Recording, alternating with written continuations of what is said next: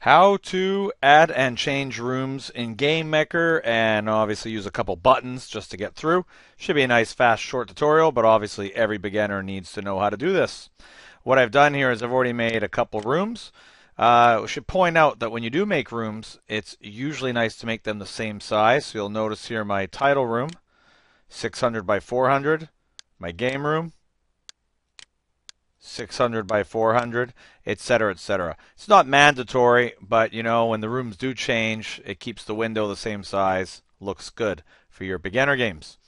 Uh, let's go to the room title. And you see here I've made a couple objects already. Most people don't think of their game objects as being buttons, but that's exactly what a button can be. It's just a game object that you're intended to click on, and then the code will take you to another room. So, let's uh, have our start room here and let's put something like an object in. Let's grab a few of them here. Let's grab the play button. So maybe you have the play button in there. Maybe you have the info button in there.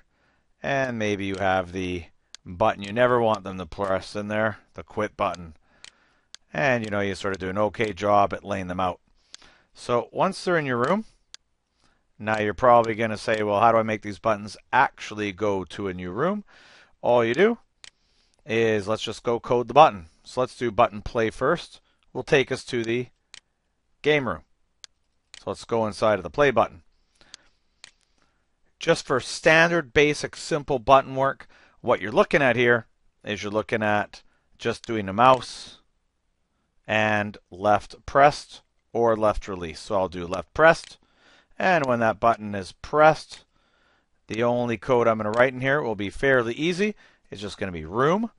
You'll see here all the room commands start with room underscore. And the most simple method to use here is room go to. And all you have to do here is name the room. Room game. And that's really it.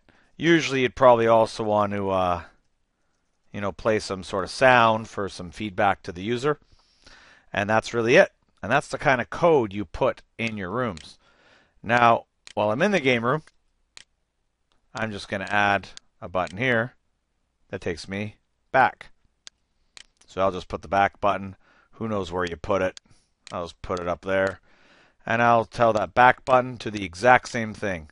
Mouse, left pressed, room, go to, room, title. Now, obviously, you probably don't always want to let them just jump from room to room with buttons, right? But you decide when the buttons show and when they don't show. We give this a quick test. Nothing too fancy here, but it does work to get your uh, intro games working. So I click. I'm in the game room. I click. I'm back to the title screen. And obviously this would work the same with the info and the quit button. The only difference what you may do with the quit button is you may say, I may as well just do it here. Mouse, left pressed, um, usually you want to play a sound, ask a message or something, but if you just want to end it fast, game end, right? Just the program shuts down when they say quit. And that should all work nicely. That's your basics for uh, switching from room to room. Uh, other commands you possibly like to do, I'll just sneak it into the info button here.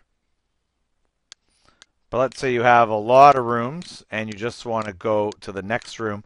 I'll just throw here that there's also the command room next. And you'll see here, whoops, next room. That doesn't work well. Room underscore. There it is. Go to next. That will take you to the room next in the list in the order that you organize these rooms. So if you have maybe 15 different levels, and when the level ends, they hit a button, and you just want to hop down to the next room, you can just use this command, room go to next. You don't have to name the next room if you don't want to. Just be careful though, you don't want to go to the next room when there isn't a next room. And there's commands for that, maybe we'll go over in another uh, tutorial video, but I think that's the basics for most beginners, just to get you hopping from room to room inside of your games. Remember, you could do these commands when a player hits a door, go to another room, right? Player uh, touches a teleporter, poof, off you go to another room, right? So, not too bad. Check out the next video, which you may be interested in, which is going back to the last room, which is something popular some people like to do. Because sometimes you, let's say, go to the store, and then when you leave the store, you want to go back to the room that you were last inside of. And so we'll show you how to do that. And that's called uh, rooms go back to last room. Thanks for watching. Hopefully that helps you out.